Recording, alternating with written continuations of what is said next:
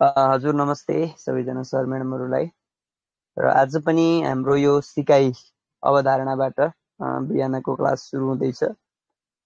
तपाईँहरू आज मात्र भिजिट गर्नुभएको छ भने अवश्य शिक्षक सेवा आयोग शिक्षक लाइसेन्स बिनी प्रासको तयारीमा जुट्न चाहनुहुन्छ र लाइभ सेसनमा जोडिन चाहनुहुन्छ भने अवश्य तपाईँहरू नयाँ भिजन टेलिग्राममा जोइन हुन सक्नुहुन्छ।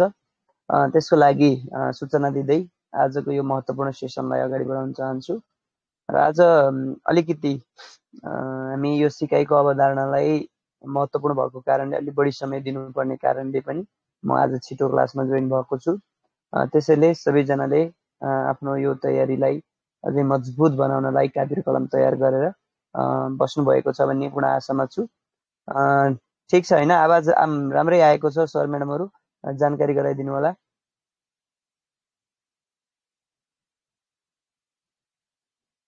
आवाज क्लियर छ? हजुर हजुर। मर्निङ म्याडम आवाज क्लियर छ? शून्य छ? ओके हुन्छ ल। म स्टार्ट गरेँ है त ल क्लास हस् ल बोर्ड स्पष्ट छ? ओके अब हामी सिकाइको अवधारणा। सिकाइ भनेको के हो त? है? सिकाइ भनेको सिकाइको जुन अर्थ छ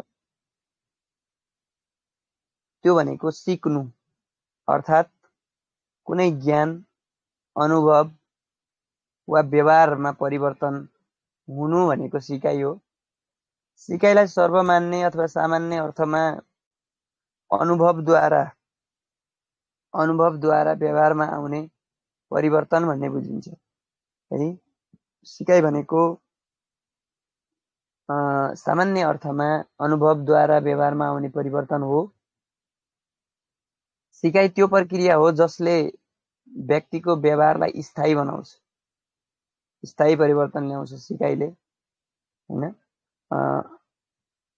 अनि त्यस्तै गरेर सिकाइ एउटा अनन्त प्रक्रिया हो जो मानिसमा जन्मदेखि मृत्युसम्म चलिरहन्छ। सिकाइ पनि अनन्त प्रक्रिया हो जो मानिसमा जन्मदेखि मृत्युसम्म चलिरहन्छ भन्ने कुरा चाहिँ पाइएको छ। अनि व्यवहारको स्थायी परिवर्तन सिकाइयो। यसको प्रत्यक्ष अवलोकन हुन सक्दैन किन भन्दा यो विकास जस्तो हो भित्रभित्र हुन्छ गुणात्मक हुन्छ त्यस कारणले यसलाई अवलोकन गर्न मापन गर्न सकिन्न है? अब यो सिकाइको अवधारणाहरूमा सिकाइलाई प्रत्यक्ष अवलोकन गर्न नसकिने कुरा भयो। सिकाइ अभ्यास र अनुभवमा भर पर्छ। जति अभ्यास गर्यो त्यति अनुभव प्राप्त हुन्छ जति अनुभव प्राप्त भयो त्यति सिकाइ परिवर्तन हुन्छ भन्न खोजेको अनि सिकाइ विकास समायोजन र वातावरणको उपज हो है। सिकाइ हिजो हामीले विकास पढ्दै गर्दा वृद्धि र विकास वातावरण र वंशाणुगतको उपज हो भने जस्तै गरेर परिपक्वता र सिकाइको प्रतिफल हो भने जस्तै गरेर सिकाइ वास्तवमा सिकाइ विकास समायोजन र वातावरणको उपज हो भनिन्छ। अनि सिकाइ परिपक्वतामा भर पर्दछ निरन्तर चलिरहन्छ होइन? सिकाइ पनि परिपक्वतामा भर पर्छ। र यो निरन्तर चलिरहन्छ उद्देश्यपूर्ण हुन्छ। अन्य माध्यमबाट भन्दा आफ्नै दैनिक जीवनको भोगाइ र अनुभवबाट सिकेको सिकाइ नै बढी उपयोगी र प्रभावकारी हुन्छ। हो। त्यसै कारणले हामी दैनिक अहिले छलफलमा लागिरहेछौँ। र तपाईँहरूले बाहिरी माध्यमबाट हेर्नुभन्दा यहाँ आएर प्रत्यक्ष अवलोकन गर्न पाउँदा प्रत्यक्ष कुराकानी गर्न पाउँदा केही हदसम्म भए पनि सिकाइ राम्रो हुन्छ भन्ने मेरो मान्यता हो। त्यो चाहिँ ब बकाइदा स्पष्ट बुकहरूमा पनि लेखेको रहेछ। यो कुरा क्लियर बुझ्नु होला। अनि सिकाइ को अवधारणालाई हेर्दाखेरि है सिकाइको अवधारणालाई हेर्दाखेरि सिकाइको स्वरूपहरू सक्रिय प्रक्रियाको हुन्छ बौद्धिक प्रक्रियाको हुन्छ उद्देश्यमूलक हुन्छ होइन? अनि समायोजन हुने प्रतिक्रिया प्रक्रिया हो प्रगतिशील परिवर्तन हो विश्वव्यापी प्रक्रिया हो निरन्तर प्रक्रिया हो जीवन पर्यन्त प्रक्रिया यसरी सिकाइको अवधारणालाई स्पष्ट पारिएको छ। र सिकाइको स्वभाव कस्तो हुन्छ त भन्दा यो प्रगतिशील हुन्छ यो निरन्तर चल्छ। होइन? जीवन पर्यन्त हुन्छ सर्वव्यापी हुन्छ अनि बौद्धिक क्रियाकलाप सक्रिय र उद्देश्यपूर्ण क्रियाकलापहरू सिकाइभित्र रहन्छ। सिकाइको तत्त्वहरू भन्नुहुन्छ भने के के हो भन्दा सिकारु हो उद्दीपक हो र प्रतिक्रिया है। सिकाइका लागि मुख्य तत्त्वहरू के के हुन् त? एउटा सिकाइ हो सरी सिकारु हो एउटा मान्छे चाहियो कसले सिक्ने खोजेको एउटा उद्दीपक चाहियो उद्देश्य अथवा भनौँ यसको यसलाई इच्छा पनि भनिन्छ र प्रतिक्रिया चाहियो कसरी काम गर्ने के गर्ने सिक्नको लागि के के कुराहरू तयार गर्ने होइन? अनि प्रारम्भिक व्यवहार भनेको सिकाइने विषयवस्तुसँग सम्बन्धित पूर्व ज्ञान सिप एवं अभिवृत्ति हो। पूर्व ज्ञान होइन सिप एवं अभिवृत्ति भनेको के हो त? प्रारम्भिक ज्ञान प्रारम्भिक व्यवहार। अनि सिकाइ प्रक्रियाका चरणहरूलाई पहिलो नम्बरमा लक्ष्य चाहियो। लक्ष्य भएपछि उत्प्रेरणा चाहियो। जाँगर आउनु पर्यो। जाँगर मात्रै भएर भएन निद बढी लाग्छ तत्परता चाहियो। होइन? तत्परता मात्रै भएर भएन व्यवधान चाहियो। कसरी गर्ने? व्यवस्थित तरिकाले त्यसको सुझबुझ चाहियो। त्यति मात्रै भएर भएन उपलब्धि हुनु पर्यो। त्यति मात्रै भएर भएन उपलब्धि भएन भने पुनर्बल पनि आफैले भित्रैबाट सिर्जना गर्नु पर्यो र अन्तिममा सामान्यकरण गर्नु पर्यो। यसबाट क्वेसनमा अहिलेसम्म सोधेको कुरा के हो भन्दा सिकाइ प्रक्रियाको चरणमा पहिलो चरण कुन हो? लक्ष्य र अन्तिम चरण कुन हो? अथवा सामान्यकरण कुन चरणमा पर्छ भनेर सोधिरहेको छ है। त्यस कारणले लक्ष्य उत्प्रेरणा तत्परता व्यवधान उपलब्धि पुनर्बल र सामान्यकरण चाहिँ मुख्य हुन् भनेर जान्नु पर्यो। अब सिकाइको परिभाषाहरू छ। यसबाट क्वेसन आएको थियो होइन। बिमा बिमा हेर्नुभएको थियो होला। गेट्सले है गेट्स र फ्रेन्ड्सले गेट्स र फ्रेन्ड्सले के भन्छन् भन्दा गेटका फ्रेन्डहरूले सिकाइ भनेको अनुभव हो तालिम हो एवं प्रयोगबाट व्यवहारमा परिवर्तन हुनु नै सिकाइ है गेट्सहरूले के भन्छन् भन्दा अनुभव तालिम एवं प्रयोगबाट व्यवहारमा परिवर्तन हुनु नै सिकाइ हो अनुभव तालिम एवं प्रयोगबाट। अनि तलपट्टि फेरि क्रो एन्ड क्रोले के भन्छन् भन्दा अनुभव र तालिमबाट। अनुभव र तालिमबाट। र जोडेर आयो भने क्रो एन्ड क्रो जस्तै निमाविमा अहिले क्वेसन आएको थियो। होइन? तर त्यसमा र थिएन। त्यस कारणले त्यो गेट्सले भनेका हुन् भन्ने कुरा थियो है? अनुभव र तालिमबाट व्यवहारमा हुने परिवर्तन सिकाइयो त्यो क्रोले भनेका छन्। अनि स्किनरले भन्छन् व्यवहारको आर्जनमा प्रगतिको व्यवहारको आर्जनमा प्रगतिको प्रक्रिया नै सिकाइयो भनेर स्किनरले भन्छन्। वुडवर्थले भन्छन् नयाँ नयाँ प्रतिक्रिया प्राप्त गर्ने प्रक्रिया सिकाइयो होइन? क्याल्भिनले भन्छन् अनुभवको कारणबाट हाम्रो प्रचलित र मौलिक व्यवहारमा हुने परिवर्तन सिकाइयो। अनि त्यस्तै गरेर ग्याग्नेले भन्छन् सिकाइ भनेको मानवको योग्यतामा आउने परिवर्तन हो। ग्याग्नेले भन्छन् है सिकाइ भनेको मानवको योग्यतामा आउने परिवर्तन हो। अनि क्रोनब्याकले भन्छन् अनुभवको परिमाणबाट अनुभवको परिणामबाट व्यवहारमा हुने परिवर्तन नै सिकाइ है? अनि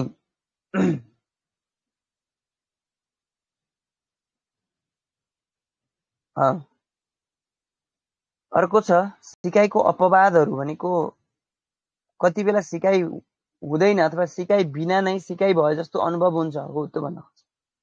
जस्तै सिकाइको अर्थ परिभाषा वर्णन गरिए झैँ सिकाइ अनुभव, तालिम एवं प्रयोगबाट व्यवहारमा परिवर्तन हुनु सिकाइ हो भने स्वाभाविक, प्राकृतिक वा प्राणीको रगतमा भएको व्यवहार सिकाइ होइन त्यही चाहिँ अपवाद हो। तर हामीलाई लाग्छ त्यो सिकाइबाटै भएको होला, तर त्यो होइन।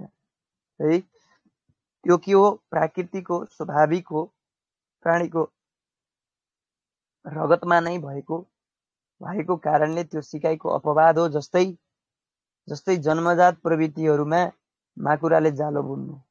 हामीले सोध्छौँ माकुराले जालो बुन्नु पनि एक प्रकारको सिकाइ हो। अह होइन।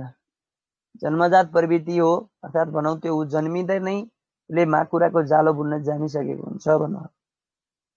अनि पानीमा माछा पौडिनु।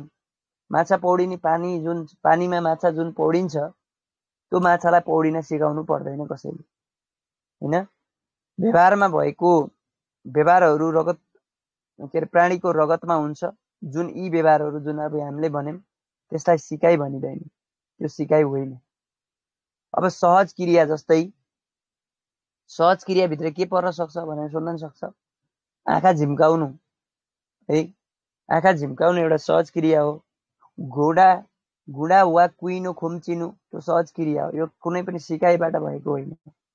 शरीर फुरफुराउनु होइन। आमा आमा देख्दा बच्चा रुनु पनि एउटा सिकाइ हो भनिन्छ हामीले तर होइन। त्यो के हो भन्दा उसलाई भोक लाग्यो। भोक लाउनु भनेको सहज क्रिया हो। त्यस कारणले बच्चा आमा देखेर रुन्छ। यसरी भन्नु। परिपक्वता।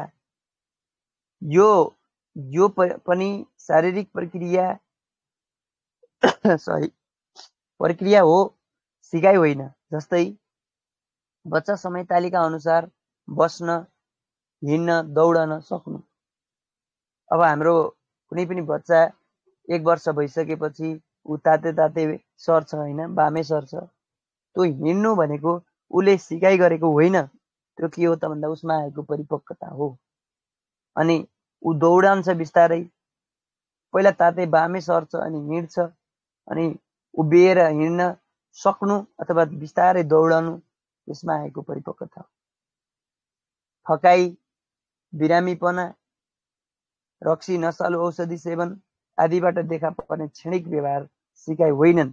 कसै कसैले होइन नसालु पदार्थ सेवन गरेको बेलामा जस्ताको तस्तै कुनै कुरा गर्छ भने त्यो सिकाइ भित्र पर्दैन भन्छन्। मनोवैज्ञानिकमा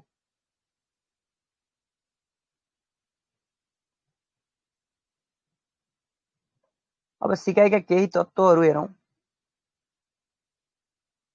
एम एमसी एमसी काउले उन्नाइस सय चौसठीमा सिकाइका तत्त्वहरू उल्लेख गरेका छन्।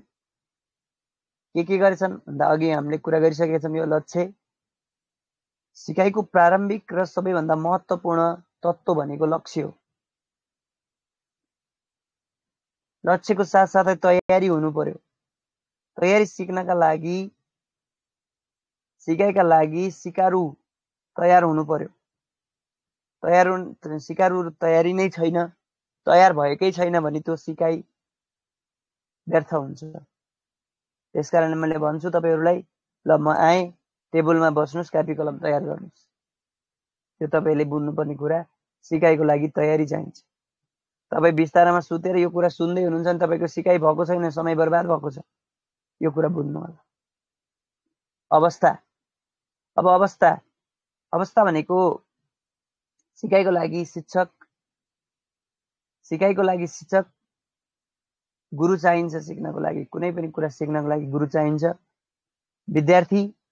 वातावरण सामग्री विषयवस्तु आदि उपलब्ध भएको अवस्था हुनुपर्छ ल हेर्नुहोस् सिक्ने भनेर त्यत्तिकै होडबाजीमा जे पाए त्यही जसो पाए त्यसो गरेर पनि मात्रै सिकाइ सम्भव छैन सिक्नको लागि गुरु चाहिन्छ सिक्नको लागि चेलाहरू चाहिन्छन् वातावरण हुनु पर्यो सामग्री हुनु पर्यो अनि मात्र सिकाइ सम्भव छ भन्न खोजेको अब व्याख्या व्याख्या भनेको सिकाइका विषयवस्तु अवस्था वातावरण आदि सबैको उचित व्याख्या गरिनु पर्दछ प्रक्रिया प्रतिक्रिया र कार्यहरूमा सिकाइका लागि विषयवस्तुप्रतिको प्रतिक्रियाबाट नै सिकाइ सम्भव छ सिक्न भनेर आउने मैले भन्छु माइक्रोफोन खोलेर बोल्नुहोस् भन्दा तपाईँहरूले प्रतिक्रिया देखाउँदै देखाउनुहुन्न तपाईँ सिक्न आएको भन्ने मानिँदै मानिनु। चाहे तपाईँले राम्रो मान्नुहोस् चाहे नराम्रो मान्नुहोस्। मैले भन्ने कर्तव्य हो मैले भन्छु नै। सिक्न आइसकेपछि सकिन्छ सहयोग गर्नुहोस् सकिँदैन असहयोग नगर्नुहोस्। त्यो कुरा चाहिँ सिकाइको प्रतिक्रियाको सिद्धान्त हो। प्रभाव हेर्नुहोस्। सिकाइको सबै सधैँ सकारात्मक प्रभाव पर्छ भन्ने होइन। त्यही भएर सिकाइ कहिले प्रत्यक्षबाट नकारात्मक प्रभाव पनि पर्न सक्छ। तर सिकाइबाट जुन प्रभाव पर्यो त्यो सिकाइ उचित अनुचित के भयो भनेर आफूले प्रभाव छुट्याउन सक्नु सामान्यकरण अन्तिममा अहिले मैले सोध्छु सिकारुका पूर्व अनुमानहरू अनुभवहरू होइन आदिको आधारमा लक्षित उद्देश्य उद्देश्य हासिल गर्नको लागि जुन यो प्रक्रियाहरू अप्नाइयो त्यो भए भएन भनेर सामान्यकरण गर्नुपर्दछ। ल सिकाइको म फेरि सोध्न लाएँ क्वेसन तपाईँ रेडी हुनुहुन्छ? अब क्वेसन सोध्न लाएँ म भाग्छु भन्नु होला नि फेरि। सिकाइको चरणमा है जुन सातवटा चरणहरू छन् त्यो कसले भनेको अरे? सिकाइको सातवटा चरण कसले भनेको? हो। काउ। काउ तिमीले भनेर आऊ म्याक। है। अनि त्यसमा पहिलो नम्बरको अब हजुर नबोल्नु है। अहिले बोल्ने लक्ष्मी म्याडम होइन। अब नबोल्नु है हजुर। अब अर्को मान्छे बोल्नु सिकाइको पहिलो चरण कुन हो? सिकाइको पहिलो चरण। हामी सिक्न भनेर आइसकेपछि हामी कति तत्पर छौँ कति तयारीमा छौँ भन्ने कुरा मैले तपाईँहरूलाई विचार गर्दैछु। अब सबै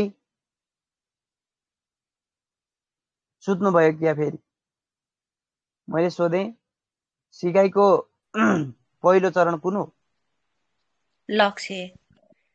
हो हाम्रो अर्को कुन म्याडम बोल्नुभयो? मलाई एकदमै आवाज पनि फरक सुने मैले। फेरि भन्नु टिका म्याडम। हस् थ्याङ्क यू टिका म्याडम हजुरसित त हिजो कुराकानी गर्न पनि पाइएन पछि तपाईँलाई मेसेज गरेँ तपाईँले भिडियो जोइन हुनुभयो कि हुनु भएन क्लासमा? नाइ मैले हिजो नयाँ मोबाइल लिएको सर आज म मिलाउँछु।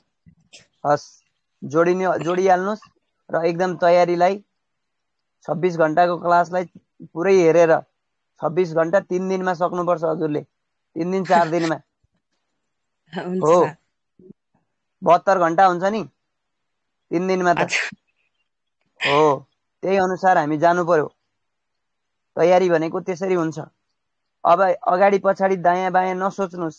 जे अगाडि आछ मात्र के सोच्नुहोस् पढ्नुपर्छ। बिहान भए पढ्नुहोस् बेलुका भए पढ्नुहोस् दिउँसो भए पढ्नुहोस् रेस्ट पाँच मिनट गर्नुहोस्। बढीमा पाँच मिनट दुई घन्टा तिन घन्टा पछि पढाइको पछि रेस्ट। त्यसरी गर्नुपर्छ। तर त्यो चाहिँ एउटा बानी बनाउनुपर्छ। हामीले बिहान उठेर मुख धो भनेर कसैले भन्नुपर्छ हामीलाई? गर्दैन नि। हो। यदि हामीले मुख धुन जान्यौँ पढाइको लागि मुख धुने बानी बनायौँ भने त्यो पढाइ हाम्रो लागि सहज हुनेछ। ल। ठिक छ धन्यवाद। अब हाम्रो अरू म्याडमहरू पनि सरहरू पनि बोल्नु होला ल। मैले अर्को क्वेसन सोध्छु बिचमा। सबैभन्दा अन्तिम चरण। सबैभन्दा अन्तिम चरण सिकाइको अन्तिम चरण कुन रहेछ? हाम्रो मिथिलेश सर आउनुभएछ। ओहो गुड मर्निङ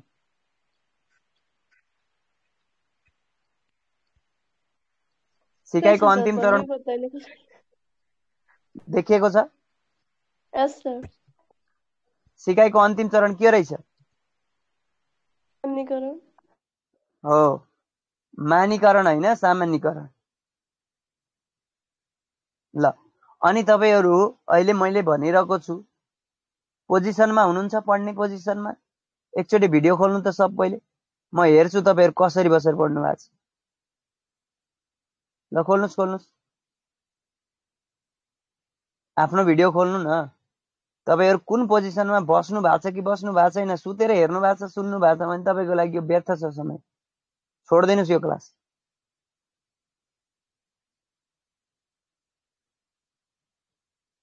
ल।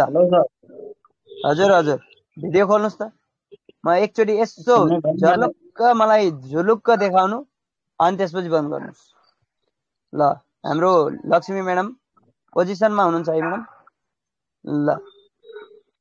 टिका म्याडम ल खोलिहाल्नुहोस्। राधा म्याडम खोल्नुहोस्।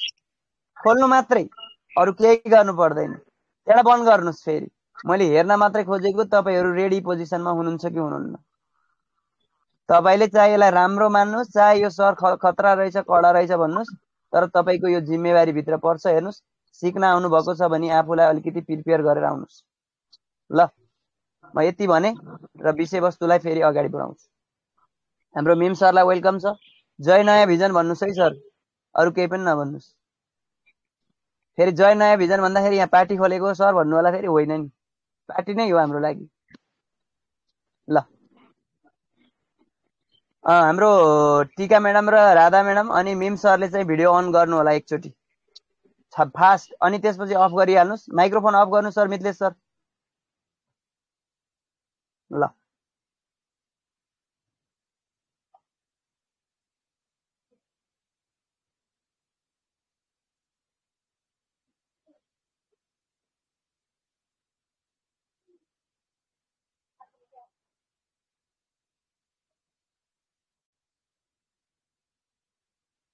अब यो सिकाइको प्रक्रियाको चरणलाई हामी यसरी सरसर्ती हेर्न सक्छौँ। लौ त लौ त उठ व्यावधान उपलब्धि हुने बेला भयो। लौ त उठ व्यावधान उपलब्धि हुने बेला भयो। पुनर्बल सामान्यकरण। यसरी सम्झिने होला। है लौ त उठ व्यावधान हुने बेला भयो। अब यो सिकाइमा प्रभाव पार्ने प्रभाव पार्ने तत्त्वहरू है सिकाइमा प्रभाव पार्ने तत्त्वहरू के के छन् त पहिला सुरु त मान्छेले मान्छेलाई नै प्रभाव पारिरहेको हुन्छ अघि भर्खरै मैले तपाईँहरूलाई बारम्बार घरि यो गर्नुहोस् घरि तो गर्नुहोस् भनेको छु नि त्यसले सिकाइ प्रत्यक्ष प्रभाव पार्ने हिसाबले मैले कुरा गरिरहेको छु परोस् भन्ने म चाहन्छु तर नपार्ने तपाईँको कुरा हो होइन तर नपार्ने तपाईँको इच्छाको कुरा हो। तर म के चाहन्छु भन्दा जति सक्दो दिएको कुरा सिर्जित होस् र सिकाइमा परिणत होस् भन्छु है? ल व्यक्तिगत कारक तत्त्व। व्यक्तिगत कारक तत्त्व। व्यक्तिगत कारक तत्त्व। तपाईँ हामीले यति मात्रै बुझ्न सक्यौँ भने त्यहाँभित्र लेखेका कुराहरू जेसुकै लेखोस् हामी बुझ्न सक्छौँ। व्यक्तिगत भनेको के हो?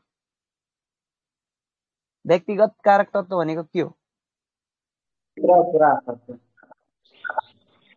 के अरे सर? के अरे सर? व्यक्तिभित्र कुरा भनेको व्यक्तिगत भनेको गुड।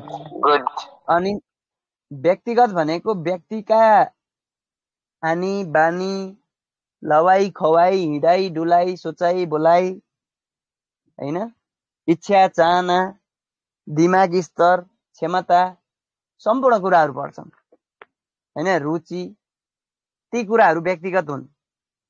त्यसलाई उमेरले प्रभाव पार्छ शिक्षाले प्रभाव पार्छ होइन? परिपक्वताले प्रभाव पार्छ। ती कुराहरू हामी बुझौँ। ल गुड थ्याङ्क यू अब मान्स मानसिक तत्त्व। यो मानसिक तत्त्वको विषयमा हाम्रो राधा म्याडमले भनिदिनुहोस् त। के बुझ्नुहुन्छ मानसिक तत्त्व? ल भन्नुहोस्। टिका म्याडमले भन्नुहोस् ल। मानसिक तत्त्वको बारेमा भन्नुहोस् टिका म्याडम।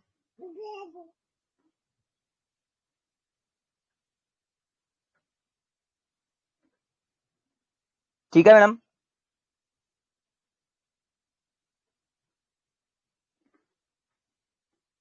हुनुहुन्न क्या? लक्ष्मी म्याडमले भन्नुहोस् ल। कुनै पनि व्यक्तिको मस्तिष्कले गर्न सक्ने क्षमतालाई मानसिक उसको मानसिक जस्तै जस्तै उदाहरण दिनु न। मानसिक कारक तत्त्व भन्यो भने के के पर्न सक्छ जस्तै? भन्न सक्नु भएन व्यक्तिले आफ्नो मस्तिष्कले गर्न सक्ने क्षमता कुनै कामलाई कुनै पनि त्यो त मेरो बोर्डमा लेखेको कुरा नपढ्नु नि तपाईँले आफ्नो विचारले बोल्नुहोस् कि। त्योभन्दा सरल तरिकाले के बुझ्नुहुन्छ तपाईँले? मानसिक तत्त्व भन्ने बित्तिकै तपाईँले के बुझ्नुहुन्छ? बौद्धिक क्षमता। जस्तै उदाहरण दिनु न। जस्तै मैले मेरो मस्तिष्कले कतिसम्म सिक्न सक्छु यस्तो त्यस्तै जस्तै एउटा उदाहरण दिन सक्नु भएन?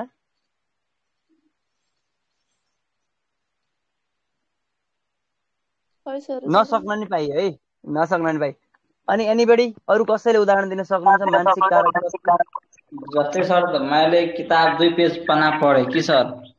त्यसमा कति मैले त्यो माइन्डमा मेकअप गर्न सके गर्न सकेन त्यो कुरा हो। मानसिक त ल ठिक छ म अरू कोही बोल्नुहुन्छ? अरू कोही बोल्नुहुन्छ? ल म्याडम टिका म्याडम हो? हजुर। ल भन् भन्नुहोस् त म्याडम मानसिक तत्त्व भनेर हजुरले कसरी बुझ्नुहुन्छ? जस्तै अब उत्प्रेरणाहरू हुन्छ मानसिक रूपमा हुनलाई अनि त्यस्तै अब स्मरणहरू विस्मरणहरू तिनीहरू हो यस। थ्याङ्क यू हो यो हो पढाइ भनेको। मानसिक तत्त्व भनेको जुन हाम्रो भित्र अघि हामीले व्यक्तिगत रूपमा भित्रबाट आउँछ भन्यौँ नि ती सबै कुरा मानसिक तत्त्वभित्र परेका हुन्छन्। जस्तै उमेरकै कुरा गर्ने भने कोही जुन मान्छे ठुलो हुन्छ नि त्यो मान्छेले भन्छ नि बुढापाकाले भन्छ नि त कुरा सुन्नु बुढाको आगो ताप्नु मुढाको भनेको के हो भन्दा मानसिक रूपमा उनीहरू बलियो हुन्छन् हामी भन्दा हामीले भन्दा सही डिसिजन दिन सक्छन्। हामीले भन्दा केही कुरा बढी बुझेका हुन्छन् उमेरको हिसाबले गर्दा है? अनि त्यसपछि गएर फेरि मानसिक तत्त्व भन्ने बित्तिकै अर्को के हुन्छ भन्दा एउटा सरल मान्छे हेर्नुहोस् र एउटा अपाङ्ग मान्छे हेर्नुहोस्। तिनीहरू दुइटामा के फरक छ भन्दा उनीहरूको मानसिक क्षमता बराबर हुन्छ। मानसिक क्षमता बराबर हुन्छ। तर उनीहरूलाई बाहिरको प्रभाव भनेको उनीहरूलाई बाहिरको बता वातावरणले पारिरहेको हुन्छ। भनेको सिकाइ भनेको चिज कस्तो हो भने कुनै पनि मानिसको मानसिक कारक तत्त्वले सिकाइलाई प्रभाव ठुलो पार्छ। कोही मान्छे भनौँ न मस्तिष्कमा सुस्त मनस्थिति हुन्छ भने कोही एकदम तीक्ष्ण मस्तिष्क भएको हुन्छ कोही मन्द मस्तिष्क भएको हुन्छ यसरी हामीले बुझ्नु पर्यो कि। हामी चाहिँ ठ्याक्क किताबमा जे लेखेको छ त्यही घोक्नेतिर लाग्ने होइन कि। हामी आफूले व्यवहारिक तरिकाले बुझ्नु पर्यो मानसिक भने थ्याङ्क यू सो मच अब सम्वेकतिर जाउँ त ल। सम्वेकमा मैले यहाँ तपाईँहरूलाई यहाँ लेखेको कुरा त तपाईँले देख्नु भएको छ। यो यो नभन्नुहोस्। सम्वेक भन्ने बित्तिकै तपाईँले के बुझ्नुहुन्छ मलाई त्यो भन्नुहोस् त। सम्वेक भन्ने बित्तिकै यो प्रतिक्रियाहरू के डाहाहरू ईर्ष्याहरू हो हो। त्यो यहाँ लेखेको नभन्नुहोस्। त्यो भन्ने होइन। सम्वेक भन्ने बित्तिकै हो हो म्याडम हो ठिक भन्नुभयो। हजुर देख्नु भएको छैन। आइनो आइनो। मलाई थाहा छ मलाई थाहा छ। तपाईँ तपाईँ त्यस्तो अपाङ्ग भन्ने होइन। दृष्टिबिन हो मलाई थाहा छ। है त्यसलाई अन्यथा नलिनु होला। है। सम्वेक भनेको एकदम राइट कुरा गर्नुभयो हजुरले। अब अरू कसैले भन्नुहोस् त यहाँ लेखेको बाहेक अरू कुरा भन्न सक्नुहोस् त अरू कोही। सम्वेकलाई कसरी बुझ्नु भएको छ? सर त्यो? सर तपाईँले तपाईँले इङ्ग्लिस इङ्ग्लिसमा ट्रान्सलेट नगर्नु न। सिधा कुरा भन्नुहोस् कि तपाईँले के बुझ्नु भएको छ अहिलेसम्म? जस्ता कुराहरू त्यहाँ लेखेको कुरा त जसले नि भन्छ कि त्यो त आँखा भएपछि सबै भनिहाल्छन् हजुर। त्यो म आफ्नो तरिकाले हो ल ठिक छ। म भन्छु है। टिका म्याडम केही भनिदिनुहुन्छ कि सम्वेकको विषयमा? सम्वेकको विषयमा अरू अब जस्तै त्यही अब मान्छेहरूले आफ्नो कस्तो प्रतिक्रिया देखाउँछन् भन्ने हुन्छ अब। हो राइट। कुनै पनि सिचुएसन आयो मानौ तपाईँले एउटा मान्छेलाई जिउँदो मान्छेलाई लास बनाएर मरेर लिएर गएको शङ्ख बजाउँदै लिएर आएको देख्नुभयो। तपाईँको मुखबाट के आउँछ? ओ राम राम राम। होइन? हो? तपाईँले कसैले भनौँ न तपाईँ परीक्षामा सफल हुनुभयो कङ्ग्रेचुलेसन भन्यो। तपाईँको मनमा के आउँछ? थ्याङ्क यू थ्याङ्क यू होइन? तपाईँलाई त्यो कसैले सिकाउनु पर्दैन क्या त्यति बेला? त्यो अचानक त्यो परिस्थितिले ल्याउने जुन व्यवहार छ त्यसलाई चाहिँ सम्वेक भनिन्छ। कुरा बुझ्नुभयो? तर मानिसको जीवनमा सबैभन्दा पहिला देखा पर्ने सम्वेक के हो? थाहा छ तपाईँहरूलाई? भन्नुहोस् मैले प्रश्न सोधेँ सम्वेक त जान्नु भएको रहेछ सबैले। होइन? मानिसको जीवनमा सबैभन्दा पहिलो देखा पर्ने सम्वेक के हो? माया होला सर। ठैट त्यस्तो कहीँ माया त माया त लास्टतिर हो। म भनौ? भोलि प्रश्न यही आइदियोस् म त्यो चाहन्छु। हो आउन नि सक्छ फेरि यो प्रासमा त सोधिरहेको छ शिक्षक सेवा नि नसोध्ला भन्न सकिन्न। मानिसको जीवनमा सबैभन्दा पहिला देखिने सम्वेक भनेको डर हो हेर्नुहोस्। तपाईँलाई मैले क्वेसन सोध्नुभन्दा अगाडि तपाईँको मन कति ढुकढुक ढुकढुक ढुकढुक ढुक भएको थियो? याद गर्नुहोस्। अब सरले उठाएर सोध्यो ल मैले भिडियो खोल्नुहोस् भन्दा तपाईँ कति आत्तिनु भयो कहाँ जाम ओलो परमेश्वरी के भन्यो यो सरले ह? हो मानिसको जीवनमा तपाईँलाई विचार गर्नुहोस्। अरू केही भन्नु पर्दैन आज पाँचजना बसेको ठाउँमा गएर तपाईँ तिनीहरूले केही भनिरहेको बेलामा उठेर मैले यिनीहरूलाई केही सिकाउँछु भनेर उठ्नुहोस् त तपाईँको मन कस्तो हुन्छ त्यति बेला। विचार गरिहाल्नुहोस्। यो एउटा व्यवहारिक सिकाइ हो हामी त्यस कारणले छलफलमा लागेका हौँ कि? ल। यसमा म अरू कुरा बोलिनँ है। डर बसी के के हुन्छ भन्ने कुरा सबै भने सबै थाहा छ तपाईँहरूलाई। किताबमा लेखेको रटेर बस्नु भएको छ। ईर्ष्या हो क्रोध हो माया हो सुखी हो दुःख हो आनन्द हो प्रेम हो रास हो ईर्ष्या डा हो होइन यी सबै कुरा थाहा छ। तर के थाहा छैन भन्दा यसको व्यावहारिक पक्ष थाहा छैन। हो यो भनेको रट यो सुगा रटाइको पढाइ भन्छ नि यही हो। ल शिक्षकको व्यक्तित्व के हुन्छ ल भन्नुहोस्। के हो शिक्षकको व्यक्तित्व भनेको? कसरी बुझ्नु भएको छ?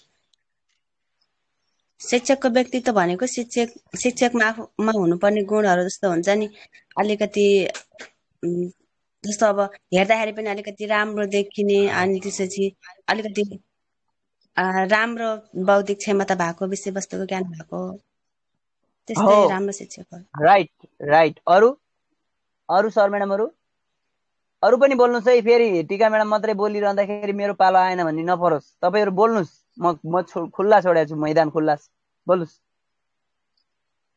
ए बिग्रे बिग्रिन्छ कि? सुन्नेले ओहो यिनीहरू छलफल गरे कसरी निचोडमा निकालेर रहेछन् भन्छन् कि? बोल्नु न। किन डराउनु भा?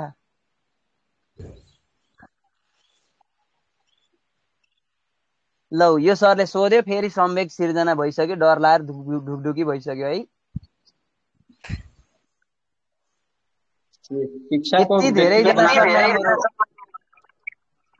भन्नुहोस् भन्नुहोस्।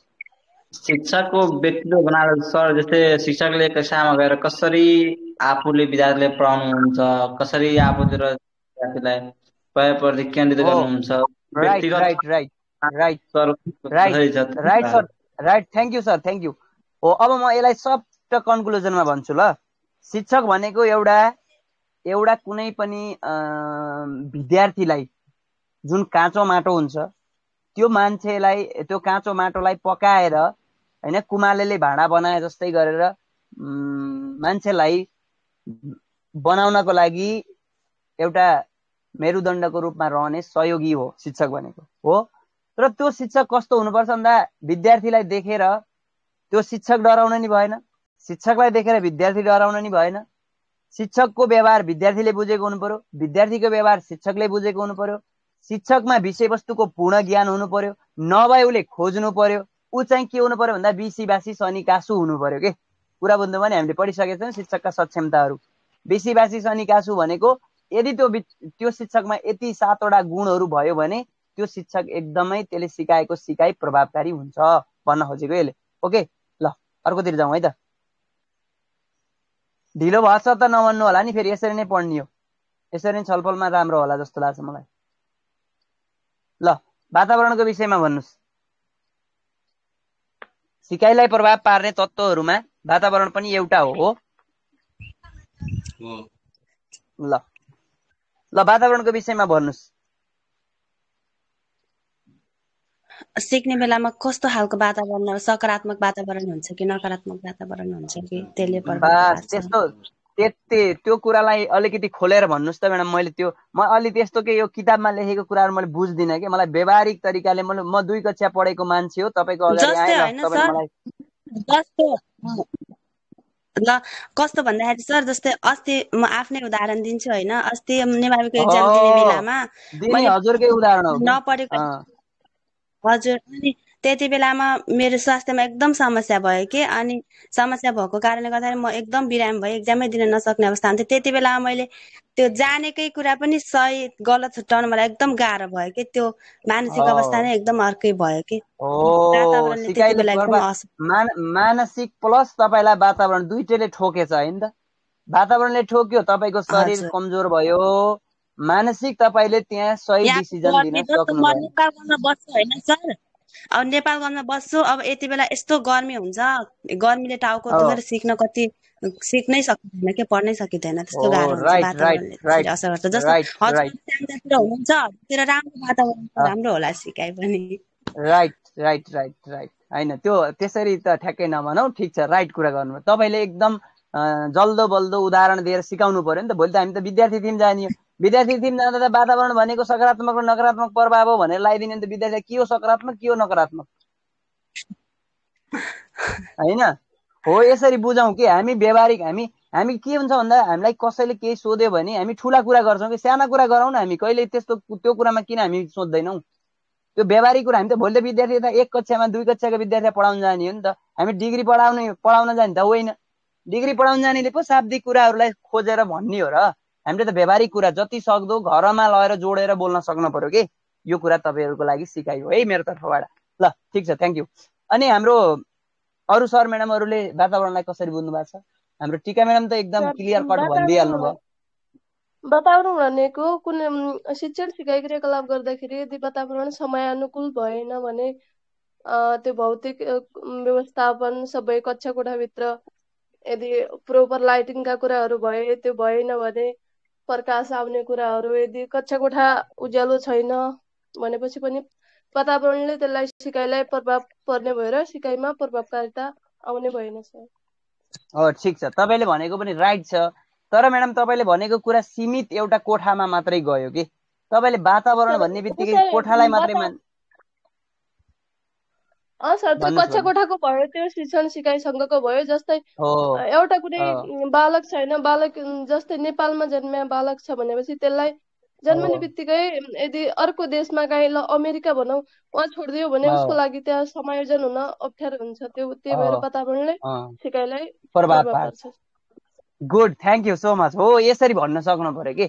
एउटा कुरा हामी सामान्य त्यस्तो हजुरले अमेरिकै पुऱ्याउनु पर्थेन कि? के भ अघि हाम्रो म्याडमले भन्नुभयो नि तपाईँ वातावरणको हिसाबले कुरा गर्दाखेरि म नेपालगञ्ज छु सर तपाईँ स्याङ्जामा हुनुहुन्छ तपाईँको र मेरो वातावरणै मिल्दैन। बा सक्यो त क्लियर कट छ। तपाईँ तिमी आउने घरबाट विद्यार्थीलाई भन्दाखेरि तिम्रो घरको ओल्लो घरको वातावरण र पल्लो घरको वातावरण फरक हुन्छ भाइ बहिनी भन्दै हुन्छ कि? किन फरक हुन्छ भन्दा उसको घरको लवाई खवाई हिँडाइ डुलाइ बसाइ व्यवस्थापन सम्पूर्ण कुराहरू फरक हुन्छ र पल्लो घरको फरक हुन्छ। तर हामीले के सोच्छौँ भन्दा वातावरण भन्ने बित्तिकै समग्र यत्रो नेपालभरि नै लिने होला भन्ने चाहिँ हुन्छ कि? होइन है। यो कुरा हामीले बुझौँ ल। थ्याङ्क यू अनि पारिवारिक यहाँ लेखेको छ नि पारिवारिक वातावरणले प्रभाव पार्छ विद्यालयको बाहिर मात्रै होइन कि परिवारले समेत उसलाई प्रभाव पार्छ। यति कुरा क्लियर भयो होला। नि थ्याङ्क यू ल अब वंशाणुको विषयमा बोल्नुहोस् त। कस्तो मजा आएको छ कि मलाई आज पढाउनु बल्ल। यस्तै पढाउँदा राम्रो हुन्छ होला। भोलिबाट यसरी नै पढाउने हो। चिच्याउने होइन अब। सकियो अब चिच्याउने दिन। ल वातावरण। के के अरे? वंशाणुकर वंशाणुक्रमलाई के बुझ्नु भएको छ? सर त्यो आमा बुवाको गुण छोराछोरीमा सर्नु पान्छ कतो भने। हो। त्यसले कसरी प्रभाव पार्यो सर? के छ? सिकाइमा त्यसले कसरी प्रभाव पार्यो? त्यसले कसरी प्रभाव पाए? जस्तै सर जस्तै आमा बुवा मान्छेको चाहिँ बौद्धिक रूपले चाहिँ तन्दुरुस्त अथवा छैन भने उसको छोराछोरीमा पनि त्यो बौद्धिक समस्या अलिअलि आउँछ। त्यसले गर्दा अँ, सिकाइमा प्रभाव पार्छ। हो हो ठिक ठिक। अनि हजुरले ल अरू अरू अरू अरू बोल्नुहोस् त ल ठिक छ। तपाईँको कुरा अहिले कन्क्लुजनमा पछि बोलाउँला ल ल अर्को अर्को सर म्याडमहरू खै? मलाई भन् मलाई भनिदियो छैन कि म भन्छु भन्ने हो कि आफै? अरू वंशाणु अ, वंशानुगत गुणले कसरी प्रभाव पार्छ भन्दा जस्तो अब अगाडिको अग्रज व्यक्तिहरू जस्तो घरको आमा बुवाहरू कस्तो हुनुहुन्छ? अब जस्तो आमा बुवाहरू पढे लेखेको अलि राम्रो हुनुहुन्छ भने त्यो प्रभाव सन्तानमा नि पर्छ। अनि अब अलिकति त्यस्तै खालको छ भने त्यो प्रभाव पर्छ। अनि अब कुनै अब रोगी छन् भने त त्यस्तो अब रोगी अब आमा बुवामा त्यस्तो कुनै रोग छ भने सन्तानमा हुन सक्छ त्यसले गर्दाखेरि पनि अब सिकाइमा अलिकति दीर्घकालीन रोग छ भने? हो ठिक छ। अरू? हजुर अरू सर म्याडमहरू हुन्छ। अरू सर म्याडमहरू ल ठिक छ। मैले पनि यसलाई समग्रमा टुङ्ग्याएँ है त। हजुरहरूले भनेको राइट सय पर्सेन्ट राइट मैले एक सय एक बनाउनको लागि मात्रै एउटा कुरा गर्छु। वंश भन्ने बित्तिकै आमा र बाबु मात्रै नसम्झिनु होला है। त्यति मात्रै मैले बोलेँ। अरू कुरा बोलिनँ म। वंश भन्ने बित्तिकै आमा र बाबु मात्रैको कुरा होइन। हाम्रो वंश कहाँबाट सुरुवात भएको भन्दाखेरि बानर युगबाट सुरुवात भएको वंश हो। त्यहाँबाट सिक्दै सिक्दै सिक्दै सिक्दै आउँदै गर्दा बल्ल हामी यति चेतनावान अथवा यति नैतिकतावान यति मानसिक तत्त्वको रूपमा जुन हाम्रो जुन बल बल पुगेको छ हामी यसरी बुझौँ कि? आमा र बाबु भन्ने बित्तिकै त हामीले त के भन्न सकिन्छ र भने? वंश भनेको त कहाँ हो कहाँ हो त हाम्रो त? हामीलाई त कहाँ थाहा छ र वंशको कुरा? होइन? यति मात्रै बुझौँ ल थ्याङ्क यू अब अन्य कुराहरूमा त के के पर्छ भन्ने कुरा थाहा छ होइन? मैले यहाँ एउटा एउटा शब्द खेलाउन प्रयास गर्छु। उत्प्रेरणा भनेको विषयमा भन्नुहोस् त को बोल्नुहुन्छ? उत्प्रेरणा भनेको कसैलाई यस्तो गर भनेर ऊर्जा दिने जस्तो के गुड गुड हो र? त्यति ऊर्जा दिने काम उत्प्रेरणा हो।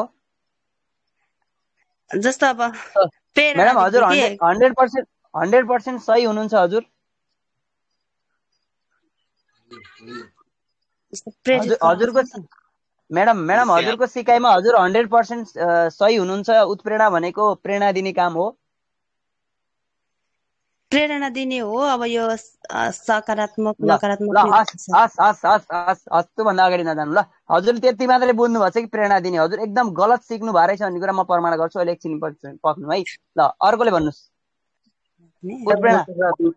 सिकाइप्रति रुचि पैदा गर्नु इच्छा जागृत गर्नु भनेको प्रेरणा भनेको अरू? अरू?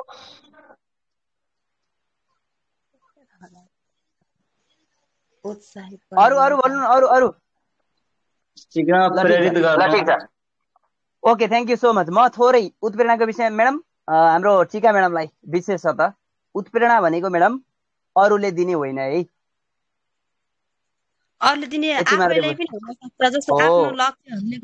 आफैबाट आफै आफैबाट आउनु पर्यो। आफै प्रेरित हुनु पर्यो उत्प्रेरणा भनेको आफै प्रेरित हुनु पर्यो है। यति मात्रै बुझ्नु ल। अबदेखि त्यो कुरालाई ठ्याक्कै डाइभर्ट गर्नु होला। हजुरले भनेको कुरा भन्दा ठिक विपरीत कुरा हो यो। ल पुनर्बल भन्नुहोस् त। पुनर्बलको विषयमा बोल्नुहोस्। पुनर्बलमा चाहिँ पर्छ होला बरु ऊर्जाहरू दिने जस्तो हो राइट। उत्प्रेरणा र पुनर्बलमा उत्प्रेरणा र पुनर्बल भनेकै यही कुरा हो। यो प्रतिक्रियाको दरलाई बढाउन बढे गर्ने कुरा हो। प्रतिक्रियाको दर बढाउने भनेको के हो? हजुरले आज काम गर्नुभयो। राइट लगाइदिएँ मैले। हो? भेरी गुड लेखेँ स्याबास लेखेँ। राइट। वाओ कस्तो राम्रो गर्नुभयो। थ्याङ्क यू सो मच है। ओ फेरि आउनु ल। यसरी मैले जुन तपाईँलाई मोटिभेट गरेँ नि त्यो चाहिँ पुनर्बल हो। र तपाईँले के गर्नुभयो भन्दा वा सरले मलाई आज उत्प्रेरणा के अरे पुनर्बल गर्यो। आज म चाहिँ काम आफै गर्छु। अझै धेरै गर्छु राम्रो गर्छु अझै राम्रो गर्छु भनेको उत्प्रेरणा उत्प्रेरित हो। बुझ्नुभयो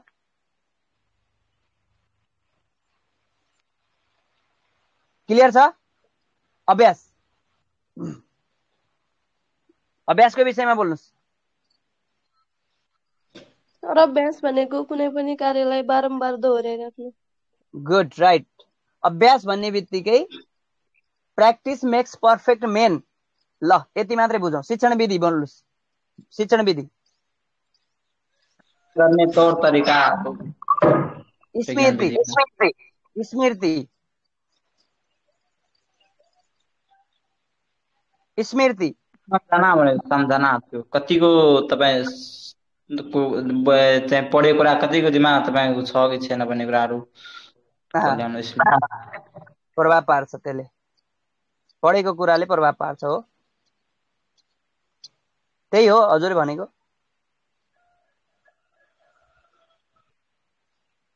सिकेको कुरालाई कति आफ्नो स्मृतिमा भण्डारण गर्न सक्यौ र कति विस्मरण गर्न सक्यौ भन्ने हो हो भण्डारणको कुरा आयो स्मृति भन्ने बित्तिकै राखाइको कुरा आयो है गुड। राखाइले राम्रोसँग राख्नु भएको छ भने चाहिएको बेलामा सर आउँछ के अरे होइन? राख्दाखेरि गजाङ गुजुङ पारेर गचक कुचुक पारेर कपडाले ढाकेर राख्नु भएको छ भने त्यहीँ रोकिएर रहन्छ त्यति मात्रै कुरा। सिकाइको स्थान दीर्घकालीन स्मृतिमा गयो भने हामी हामी व्याख्यातिर नलागौँ है। अहिले त्यो फेरि प्रकारतिर नजाउँ त सिकाइको स्थानान्तरण सिकाइको स्थानान्तरण भन्नाले एक ठाउँमा सिकेको सिकाइलाई अर्को ठाउँमा प्रयोगमा ल्याउन सक्नु। उदाहरण दिनु न एउटा ठ्याक्क लाएर।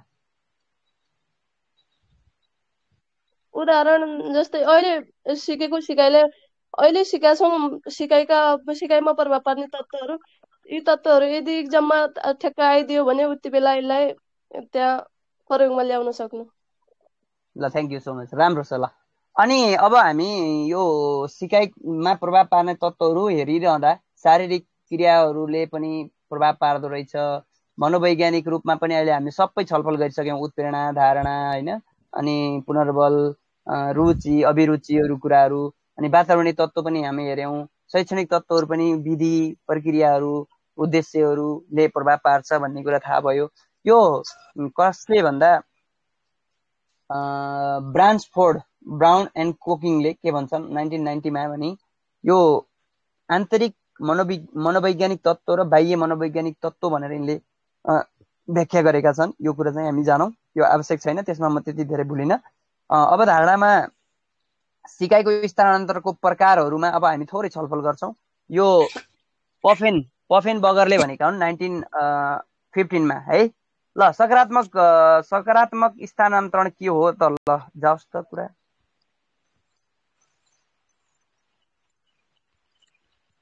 जुन कुरा सिकेको छ त्यही कुरा नै व्यवहारमा लागू गर्न पाइयो भने त्यो चाहिँ सकारात्मक। ओ अरू? अरू बढी? जस्तै सर साइकल चलाएको मान्छेलाई मोटरसाइकल चलाउन सजिलो हुनु भनेको सिकाएको सकारात्मक स्थान। साइकल चलाएकालाई मोटरसाइकल। सिक्न अरू? अरू?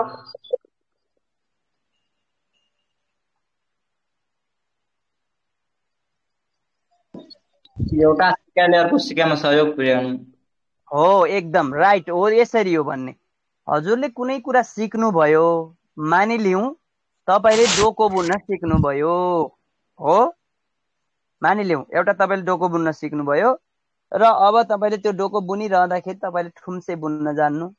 अथवा तपाईँले चाहिँ त्यो अरू अरू बुन्ने चिजहरू जान्नु बुनाइको कुराहरू जान्नु त्यो चाहिँ सकारात्मक स्थानान्तरण हो एक ठाउँमा सिकियो अर्को ठाउँमा प्रयोग गर्दै गर्दा एउटा कुरा सिकेर अर्को कुरालाई प्रभाव पार्यो भने त्यो चाहिँ के हो? सकारात्मक प्रभाव हो। त्यसको ठिक उल्टो नकारात्मक र शून्य भनेको केही पनि नहुनु। ल सक्यो यो है।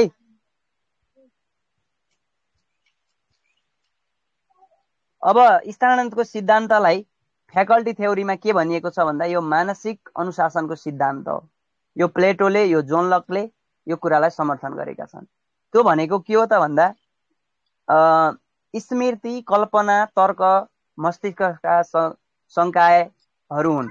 स्मृति गर्नु कल्पना गर्नु तर्क गर्नु।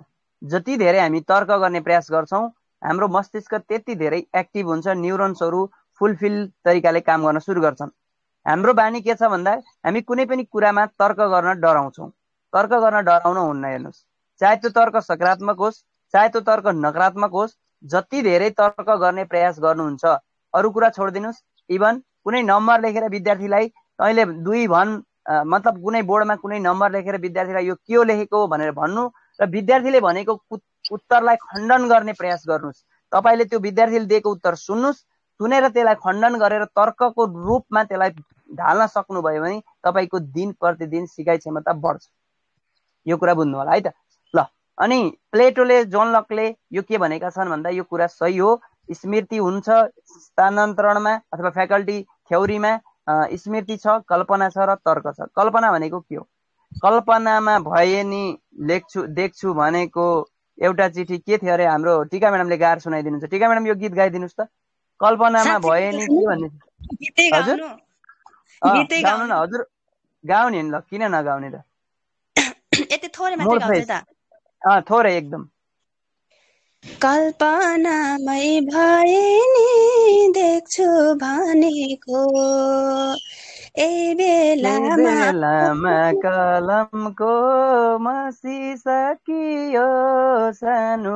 अनि के थियो अरे? यहाँलाई केही कुरा लेख्छु?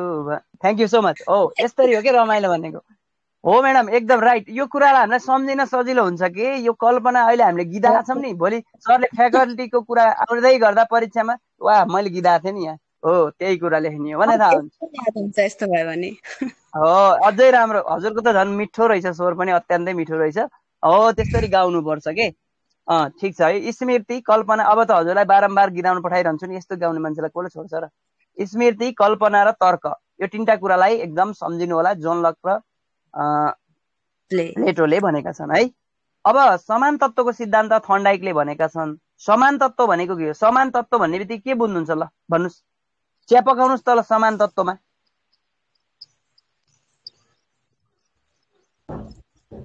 समान तत्त्वमा चिया पकाउनुहोस्।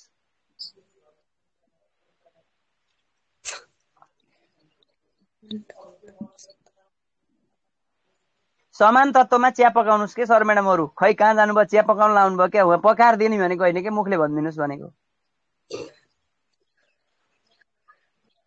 के सोध्यो यो सरले? भन्नुभएको छ होला सर। यो सर साँच्चै बौला हो भन्नुभयो होला। ल ठिक छ। त्यो भन्नु पनि म खुसीको कुरा हो मेरो लागि। पाकेन चिया?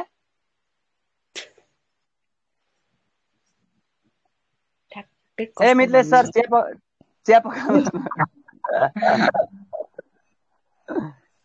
सर चिया पाक्यो अब के भन्नु यस्तै हो के सर पढाइ गर्ने नै यसरी हो कि हामी त खालि किताबमा जे लेखिया छ त्यही घोकिया छ घोकिया छ अनि कहाँ हुन्छ हाम्रो सिकाइ राम्रो अन्तर्क्रिया गर्नु पर्यो अन्तर्क्रियाले के क्रिया ल्याउँदो रहेछ ताल परे पनि मलामी बस्दा मलामी गएर आएपछि बस्ने क्रिया ल्याउँछ। नत्र हामीले ल, कति ठिक छ। पढेको जस्तो जानेको जस्तो लाग्यो म भने चाहिँ- चाहिँ भन्न भन्ने त हुँदै हुँदैन। ओ म्याडम त्यही हो कि हाम्रो समस्या नै त्यही हो। हामी किताबमा लेखेको कुरा मजाले के कहाँ जानेछौँ जस्तो हुन्छ। जब। क्वेसन आउँछ त्यति बेला हाम्रो दिमागले कहाँनिर हो यो कुरा जोडेर नै सक्दैन कि? जोड्नु पर्यो के पढ्दाखेरि? समान तत्त्व भन्ने बित्तिकै चिया पकाउनुहोस् भने मैले समान तरिका अब थन्डाइकले भनेछन् थन्डाइकले चिया खान आएछन् भनेर सम्झिनु पर्यो। थन्डाइक चाहिँ चिया खान आएछन् होइन? चट्ट परेर। अनि चाहिँ उनलाई चाहिँ मैले चिया पकाएर दिएछु। कस्तो भन्नु न? एक गिलास दुध राखेछु होइन? एक गिलास दुध ध्यान दिनु है। एक गिलास पानी एक गिलास चिनी एक गिलास चियापत्ती। समान तत्त्व भएन? हैछ कि? होइन? समान भनेको बराबर। है? सिकाइको क्षेत्रमा जति बढी समानता ल्याउन सक्यो त्यति धेरै सिकाइ अनुपातिक रूपमा राम्रो हुन्छ भन्छन् कि यिनीहरूले। ल यति कुरा।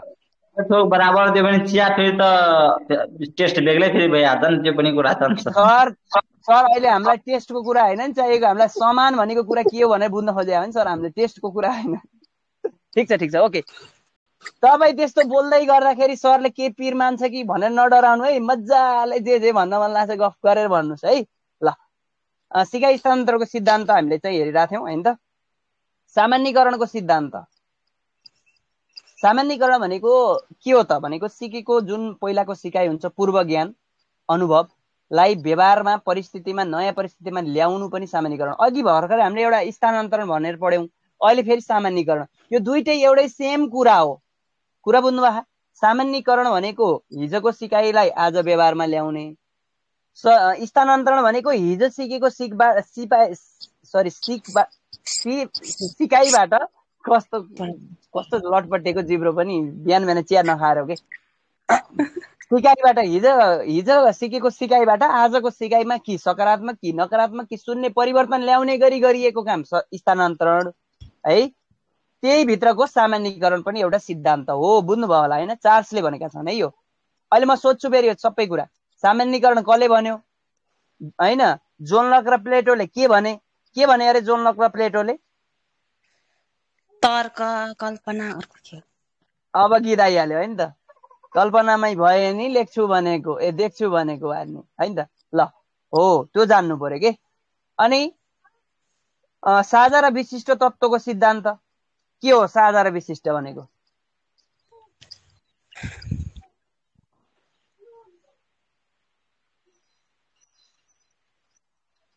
चार्ल्सले र स्पमले भनेका छन् है यो। स्परम्यानले भनेका छन्। स्परम्यान र चार्ल्सले भनेका छन्। साझा र विशिष्ट तत्त्वको सिद्धान्त। ल चारवटा सिद्धान्त पढ्यौँ। के के पढ्यौँ ल? सर हामी रिभिजन गरौँ त। अब लेख्दै नलेखिकन बसेकोलाई त अब के भन्नु र होइन? धोका दिनेलाई के भनौ र खै तिमी हाँस भो मै बसौँला रोइ होइन त? सबै जना सर म्याडमहरूले जुन हामीले अघि चारवटा सिद्धान्तहरू पढ्यौँ सिकाइ स्थानान्तरका चारवटा सिद्धान्त त्यसलाई भन्ने प्रयास गर्नु होला। हाम्रो सुभाष सर नै आउनुभएछ ल। सुभाष सर बोल्नु भएको छैन त किन हो? अरू त जानुभएछ। सुभाष सर आउनुभएछ ल। सोध्ने भने मान्छे एकदमै छिटो भाग्छ के? यो यही नै हो फेरि समस्या। सिकाइको समस्या नै यही हो कि फेरि? अरू केही पनि होइन। त्यो छलफल गरेर के बिग्रिँदो रहेछ र बोलेर नजान्ने भएर यहाँ मैले केही गाली नगर्नु न यहाँबाट मलाई गाली गर्न मिल्छ न मैले तपाईँहरूलाई यहाँबाट लट्ठी लाउन मिल्छ। होइन? सोचाइ नै के भन्दा नकारात्मक के? अनि कहाँ हुन्छ प्रगति। ल सर। मिथलेश सर यो चारवटा सिकाइ सिद्धान्तमा सर र त। के छ? चारवटा सिकाइ सिद्धान्त जुन हामीले पढ्यौँ सिकाइ स्थानान्तरणका सिद्धान्तहरू त्यो भन्नुहोस् त के के अरे? जस्तै सर मानसिक अनुशासनको सिद्धान्त।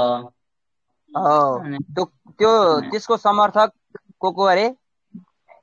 त्यसको समर्थक चाहिँ प्लेटो। अनि? अनि अर्को छ हाम्रो सर जस्तै मैले मेन मेन कुरा लेखेको छु जस्तै मेन के हो उसको प्रतिपादक भने त्यो तरिकाले लेखेको छु कि। भन्नु नि त को हो त? ल भन्नु नि त के लेख्नु भयो? जस्तै सर मानसिक अनुशासनको प्रतिपादन सिद्धान्तको चाहिँ प्लेटो भयो। सामान्य तत्व सिद्धान्तको थर्नडाइक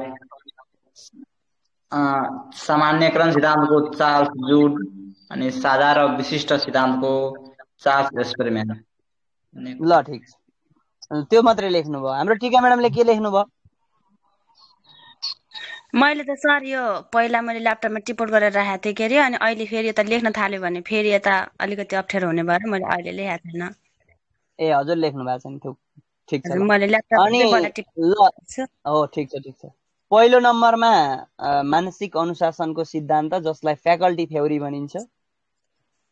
त्यो चाहिँ जोन लक र प्लेटोले समर्थन गरे र तिन त्यसमा तिनवटा कुरालाई मध्यनजर गर्नु पर्नेछ के के अरे?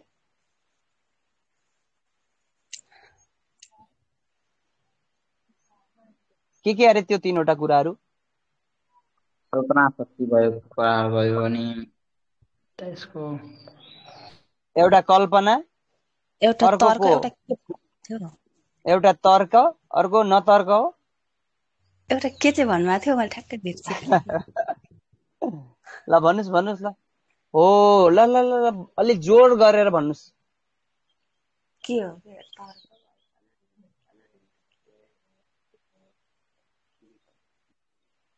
के होला। के थियो? के थियो? स्मृति जस्तो लाउँछ हो स्मृति कल्पना अनि ए। अनि के हो त फेरि? हो तर्क। अब नतर्क अब नतर्क नफर्क है। ल दोस्रो नम्बरमा के थियो? समान तत्त्वको सिद्धान्त होइन। समान तत्त्वको दोस्रोमा? समान तत्त्व चिया पकाएको होइन? चिया खान को आएको अरे?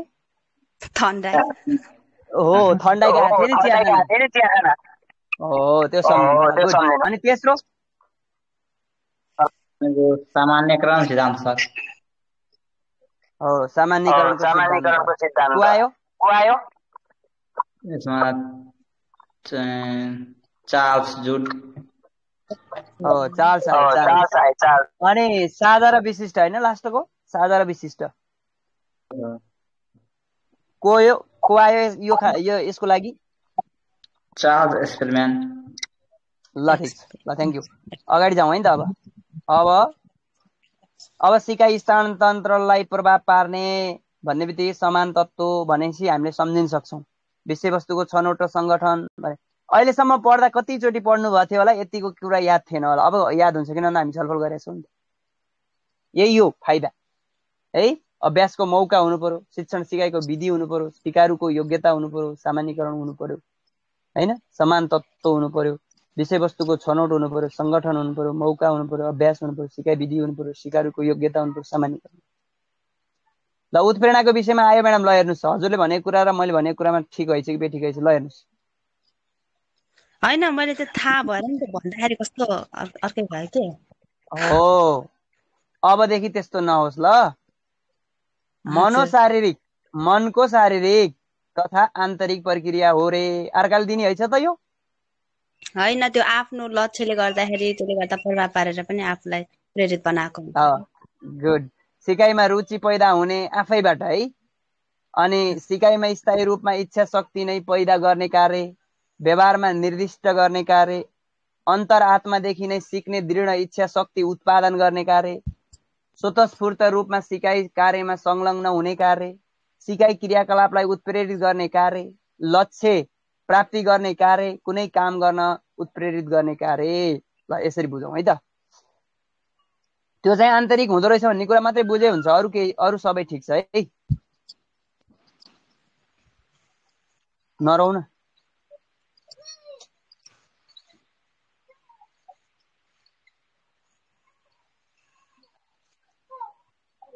अब उत्प्रेरणामा अझै हेरौँ। स्किनरले के भन्छन्?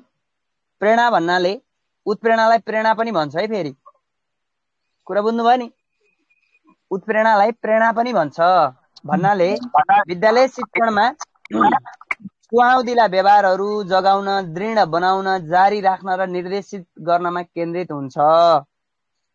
प्रेरणा भन्नाले त्यस्तो प्रक्रिया हो जसले कार्य प्रारम्भ गर्छ प्रगतितर्फ उन्मुख गराउँछ र क्रियाकलापको ढाँचालाई नियमित गराउँछ पिटी योङले भन्छन्।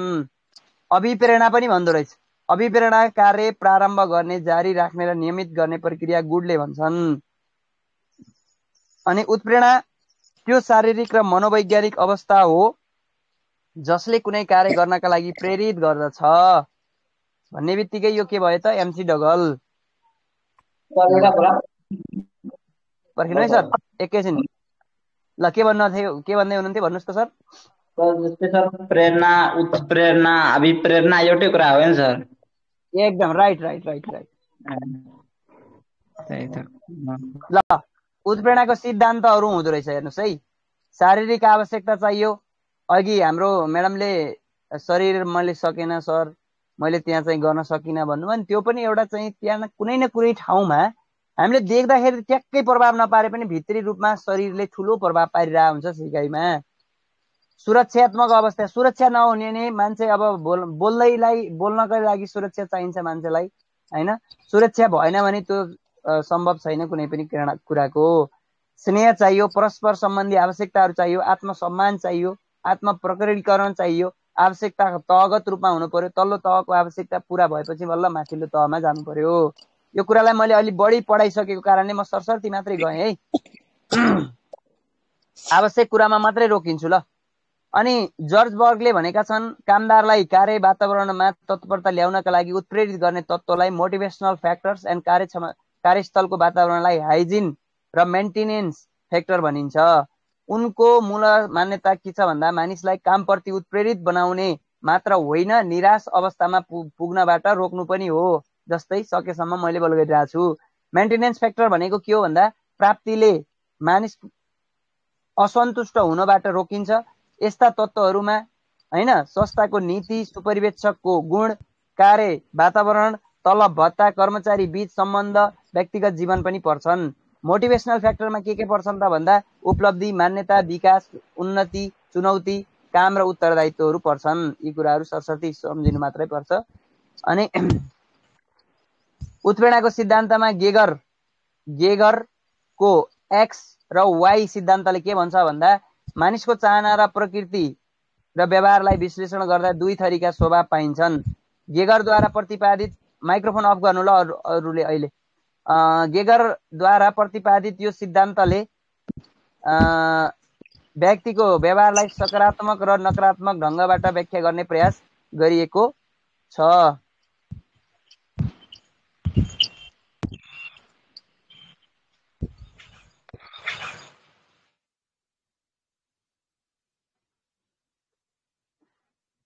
अनि एक्स सिद्धान्तले व्यक्तिको नकारात्मक पक्षको विश्लेषण गर्छ। एक्स भनेको काट्टा मारेको छ भनेर सम्झिनु होला नकारात्मक भनेर सम्झिनलाई एक्स भनेको काटा हो। वाइ व्यक्तिको सकारात्मक पक्ष हो। होइन? विश्लेषण गर्छ। नकारात्मक धारणा अनुसार व्यक्ति स्वयं उत्प्रेरित भएर कामप्रति अभिप्रेरित हुँदैन। उसमाथि आदेश र नियन्त्रण आवश्यक छ। नकारात्मक विश्लेषण गर्ने भनेको उसप्रति आदेश दिनु पर्यो। उसप्रति के गर्नु पर्यो भन्दा नियन्त्रण हुनु पर्यो र एक्स थ्योरीले मानिसले काम गर्न रुचाउँदैन होइन? काम ठग्छ अनि नियन्त्रण र धम्की आदेशबाट सजायको सहारा लिनुपर्छ भन्ने जस्तो कुराहरूले मान्यता राख्छ।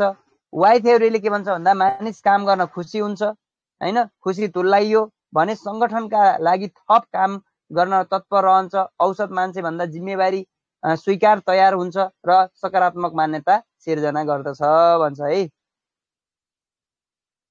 अब विलियम विलियम उची जेडका सिद्धान्त भनेको जेडको सिद्धान्त विलियम उच्चीले जेडको सिद्धान्त भनेका छन्।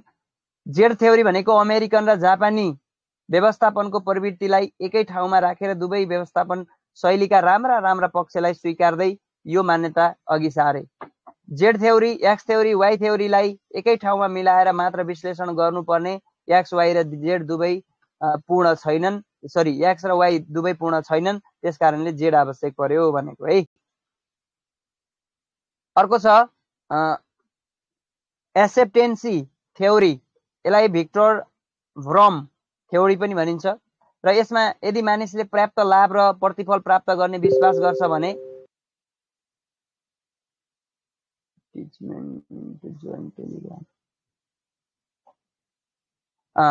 यदि यदि मानिसले प्राप्त लाभ र प्रतिफल प्राप्त गर्ने विश्वास गर्छ भने त्यो काम गर्न उत्प्रेरित हुन्छ। यस सिद्धान्तलाई मोटिभेसन भ्यालेन्स इन्टु एक्सेप्टेन्सी अर्थात् यो सिद्धान्तमा आशा र प्रयत्न कार्य सम्पादनका लागि बिचमा सम्बन्ध रहेको हुन्छ। यो कुरालाई मैले किन यति सरसर्ती मात्रै भनेको भन्दा यो कुरा हामीलाई सबै कुरा थाहा छ है उत्प्रेरणाको विषयमा त्यस कारण अब प्रेरकका कारक अब देख्नुभयो अघि हामी उत्प्रेरणा प्रेरणा अनि अभिरुचि अहिले भएन भनेर प्रेरक भन्ने शब्द पनि त्यही हो। जन्मजात भनेको अघि हामीले हेरिसकेका छौँ शारीरिक होइन शारीरिक प्रेरणा अन्तर अन्तर अन्तर्निहित प्रेरणा जस्तै तिर्खा भोक निन्द्रा क्रोध मलमूत्र त्याग यौन आदि आन्तरिक प्रेरणा हुन् भने आर्जित भनेको बाहिरबाट सि आर्जना गरिएको जस्तै इच्छा अनु अनिच्छा दबावबाट प्रभाव परि जुन आउँछ आफ्नो इच्छामा प्रभाव पर्छ सकारात्मक नकारात्मक होइन? त्यो चाहिँ के हो त भन्दा आर्जित प्रेरकको रूपमा रहन्छ। त्यसमा के के पर्छ? भन्दा कक्षा कोठामा विशेषतः यो सोध्न सक्छ। कक्षा कोठामा प्रयोगमा ल्याउन सकिने प्रेरणाहरू के के हुन् भन्दा आवश्यकता हो लक्ष्य उन्मुख रुचि हो उत्सुकता हो प्रतिस्पर्धा हो अनि परिणामको ज्ञान हो पुरस्कार हो दण्ड हो प्रशंसा हो दोषारोपण हो उपलब्धि हो अन्वेषण हो खोज हो सहयोग हो यी कुराहरू जान्नु पर्यो। अब बल्ल हामी पुनर्बलतर्फ आयौँ है। पुनर्बललाई स्वावलम्बन पनि भनिन्छ। पुनर्बललाई स्वावलम्बन पनि भनिन्छ। यसलाई उपस्थिति प्रतिक्रियाको दर घटबड गराउने भनेर चिनिन्छ है? अनि त्यो अवस्था र वस्तु जसको उपस्थितिले प्रतिक्रियाको दर बढ्छ त्यो सकारात्मक पुनर्बल हो घट्छ त्यो नकारात्मक हो भने स्वावलम्बनले सिकाइलाई सिकाइका लागि तत्पर गर्न सिकारुलाई होइन अभ्यासमा कार्य अभ्यासगत कार्यमा सक्रिय पार्न धारणा क्षमतामा सुधार गर्न सिकाइको स्थानान्तरणमा सहयोग गर्दछ। स्वावलम्बनको प्रयोगको सुरुकर्ता स्किनर हुन्। स्वावलम्बन पनि स्किनरबाट सुरुवात भयो अनि काल हलले के भनेका छन् भने आफ्नो सिकाइको सिद्धान्तमा दुई प्रकारको स्वावलम्बन प्राथमिक स्वावलम्बन र माध्यमिक स्वावलम्बन गरेर दुई प्रकारको प्राथमिक भनेको पहिलो माध्यमिक भनेको दोस्रो भनेर सम्झे पनि भयो। आधारभूत आवश्यकतासँग सम्बन्धित पुनर्बललाई प्राथमिक जसलाई घाँस बाँस कपासलाई आवश्यक पर्ने पुनर्बलहरू भनेर भन्दा पनि केही फरक पर्दैन प्राथमिक भयो। र स्किनरको कार्यपरक सिकाइ सिद्धान्तका आधारमा हेर्दा स्वावलम्बन लाई सकारात्मक र नकारात्मक गरी दुई प्रकारले हेर्न सकिन्छ। स्वावलम्बन निश्चित तालिका अनुसार प्रदान गर्न प्रभावकारी हुने कुरा उनले आफ्नो सिद्धान्त मार्फत स्पष्ट पारे। निश्चित अनुपात अनिश्चित अनुपात अनि निश्चित समयान्तर समयान्तर र अनिश्चित समयान्तर रहेको पाइन्छ। प्रत्येक सही प्रतिक्रियालाई पुनर्बल प्रदान गर्नुलाई निरन्तर पुनर्बल भनिन्छ। केही प्रतिक्रियालाई बिराएर पुनर्बल प्रदान गर्नुलाई सावधिक पुनर्बल बिराउनु चाहिँ सावधिक हो। है?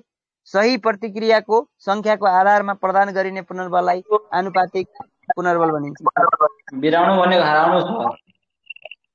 बिराउनु सर बिराउनु भनेको छुट्नु। हराउनु होइन। हराउनु त लुप्त भयो हराएर जानु भनेको त नभेटिने कुरा भयो नि त तर गर्दै गर्दै छुट्ने भनेको। ल अब अभ्यासको पालो आयो। यो सरसर्ती मैले इम्पोर्टेन्ट कुराहरू हामी छलफल गरिसकेका छौँ त्यस कारणले मैले अ, सरसर्ती भन्दै गएको छु है। तपाईँहरू सुन्नु होला। त्यही पनि कुनै कुरा कन्फ्युजन भयो भने सुन्नु होला है।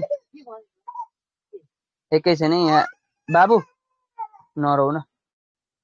यहाँ डिस्टर्ब भयो।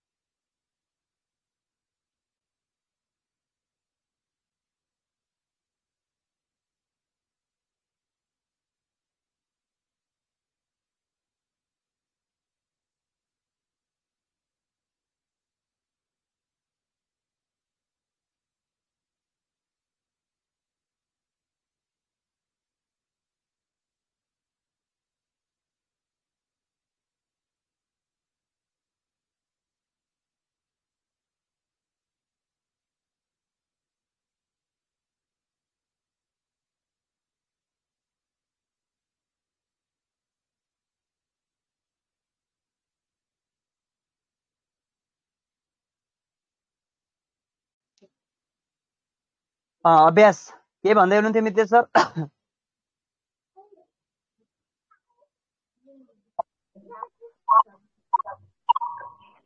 हेलो।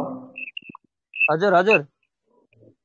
ठिकै सर कन्टिन्यू ल अभ्यास अभ्यासको अर्थ भनेको प्रतिक्रियाहरूलाई दोहोऱ्याउनु हो। अघि हामी यसको विषयमा छलफल गरिसकेका छौँ है मैले त्यही भएर भनिसकेको छु। अर्थात् विद्यार्थीहरूको प्रतिक्रिया वा देखाएका व्यवहारहरूलाई दोहोऱ्याउनु हो। प्रतिक्रियालाई निरन्तर दोहोऱ्याउँदा उत्तेजना र प्रतिक्रिया बिचको सम्बन्ध बलियो भई प्रभावकारी हुन्छ जसले सिकाइ प्रभाव पार्छ भनेर हामी पढिसक्यौँ। सिकाइमा अभ्यासलाई मनोवैज्ञानिक थन्डाइक लगायत अनेकौं मनोवैज्ञानिकले ज्यादै महत्त्वपूर्ण पक्ष मानेका छन्। अभ्यासले सिकाइमा पूर्णता प्रदान गर्दछ। मनोवैज्ञानिकको प्रयत्न र भुलको सिकाइ सिद्धान्त जुन छ पूर्ण रूपमा अभ्यासमा आधारित छ त्यो हामी पछि पढ्छौँ। कुनै पनि सिप सिकाइमा सिकाइका क्षेत्रमा यो सिद्धान्त अथवा यो अभ्यास सिद्धान्त लागू हुन्छ। अभ्यासका विभिन्न प्रकारहरू छन्। सघन र वितरित अभ्यास। ल यो भन्नुहोस् त कस्तो होला? विपरीत भने उल्टो छ अभ्यास।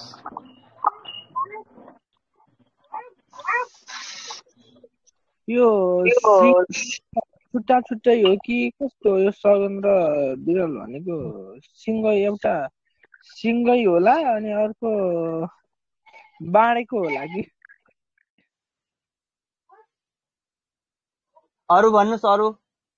अभ्यासमा सघन र वितरित अभ्यास भनेको के हो?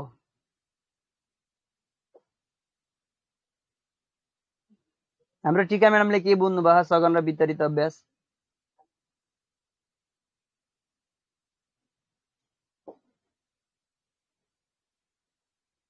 राधा म्याडमले लक्ष्मी म्याडम ए रहन्छ अहिले। ल ठिक छ। सघन भनेको अन्धाधुन्दा गरिने अभ्यास वितरित भनेको बिच बिचमा ग्याप लिएर गरिने अभ्यास। यति मात्रै बुझौँ है। ल अब अभ्यासको विषयमा अब हामी यहाँ सरसर्ती हेर्छौँ मात्रै जस्तै यहाँ छ यी। कुनै पनि विषयवस्तुलाई वा पाठलाई बाँकी नराखी एकै समयमा अभ्यास गर्नुलाई सघन भनिन्छ। घडा घोट घन घोटेर सियो बनाउने अभ्यास। त्यसलाई यसरी बुझौँ। घन घोटेर सियो। सघनलाई निरन्तर र अविराम विराम नलिकन एकत्र अभ्यास गरी आदि अभ्यास आदि आदि पनि भन्ने गरिन्छ।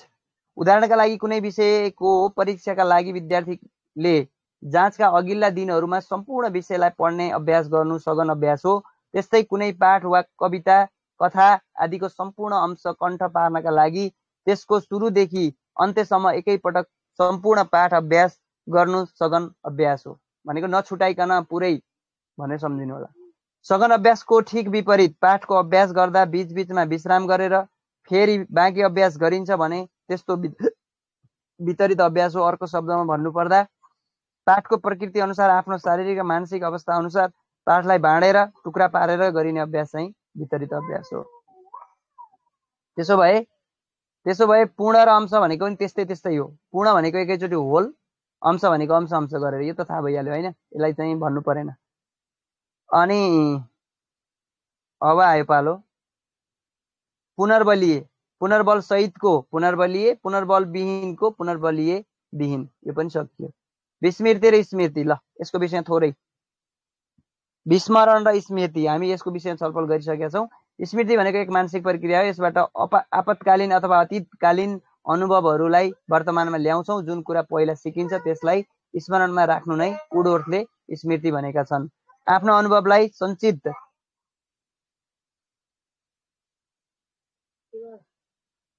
आफ्नो अनुभवलाई सञ्चित राख्ने र अनुभव प्राप्त गरेको केही समयपछि चेतनाको क्षेत्रमा पुनः ल्याउने जुन शक्ति हामीमा हुन्छ त्यसैलाई स्मृति भनिन्छ। अनि यो कुरा चाहिँ हामीले बुझ्नु पर्यो है त?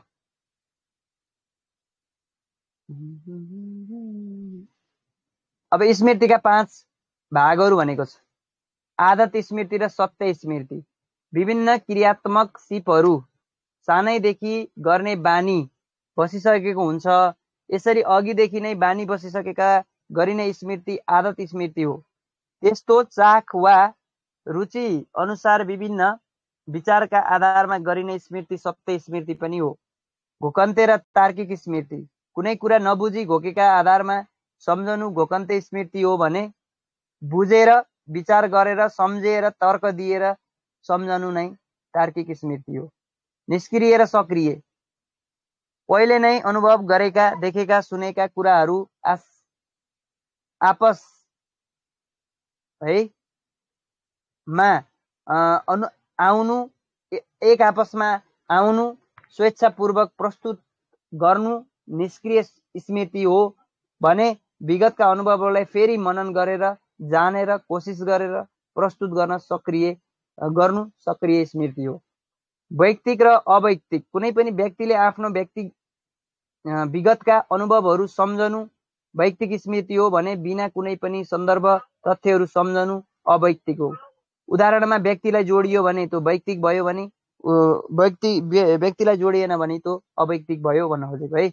तत्काल स्मृति र स्थायी स्मृति कुनै पनि सिकेका कुरालाई तत्कालै पुनः स्मरण गरिन्छ भने त्यसलाई तत्काल स्मृति भनिन्छ। सिकेका कुराहरू केही समय पछाडि पुनः स्मरण गर्ने कोसिस गरी सफल भइन्छ भने त्यसलाई स्मृति स्थायी स्मृति भनिन्छ ल। आजलाई हामी यति गरौँ।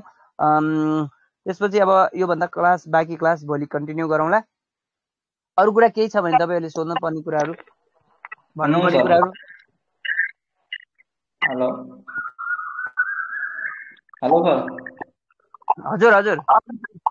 जस्तै सर तपाईँले कुनै दिन क्लास एब्सेन्ट हुनुहुन्छ नि अब त्यो सूचना पहिला नै जानकारी दिएर हाम्रो कि हामी यहाँ बसिरहेको हुन्छौँ। क्लास ए हो र त्यस्तो भयो र कुनै कारण भएछ त्यो पनि एउटा सिकाइ हो क्या सर यसको जानकारी दिँदा नि जस्तै आज क्लास आउन सक्दिनु भएन यसो ए ल म म कस्तो हुन्छ भन्दा सर म म घरमा हुँदा त क्लास कुनै पनि हालतले छोड्दैन म बाहिर हुँदा मैले जानकारी गराउनु फुर्सद पनि हुन्न कि मलाई त्यो हो कि समस्या जस्तै ल ठिक छ म तपाईँले भनेको कुरालाई स्थिर उपर गर्दै गर्दा के भन्छु भने बिहान म साढे छ बजे भित्र आउन सक्छु। है बेलुकामा अहिले हामीले कति बजे साढे छ बजे क्लास हेरे छ बजेदेखि हेरे छ बजेदेखि साढे छ बजेभित्र आइन भने बेलुका पनि आउनु भन्ने बुझ्नुहोस् न भइहाल्यो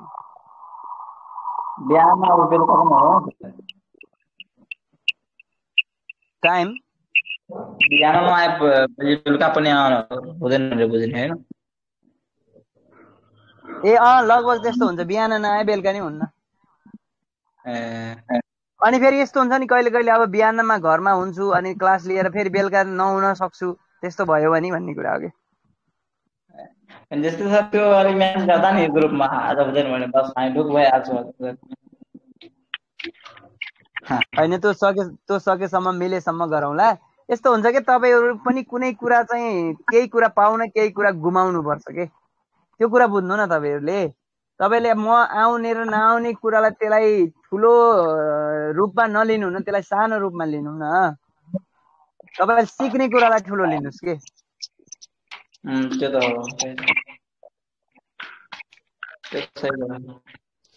अब नजिक आइसक्यो अब दस पन्ध्र दिन बिस दिन बाँकी छ प्र्याक्टिसको भइसक्यो।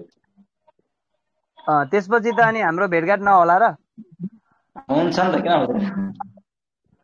हो त अनि फेरि? परीक्षासँग सम्बन्धित मात्रै भएर अब आउनु भएको छ भने त तपाईँको कुरा हो। होइन हो सधैँभरि अब बिनी प्रास नहुँदासम्म लागिरहने हो भन्नुहुन्छ भने त तपाईँको कुरा हो नि त म लागिरहन्छु सर जबसम्म मेरो जागिर तबसम्म लागेको बिनी होस् कि जे होस् तयारी गर्छु म। हो हो लाग्नुपर्छ। टिका म्याडम म हजुरसित केही कुरा बोल्छु है त यस्तो मोबाइल ल्याउनु भयो हुनुहुन्न कि कता जानुभएछ?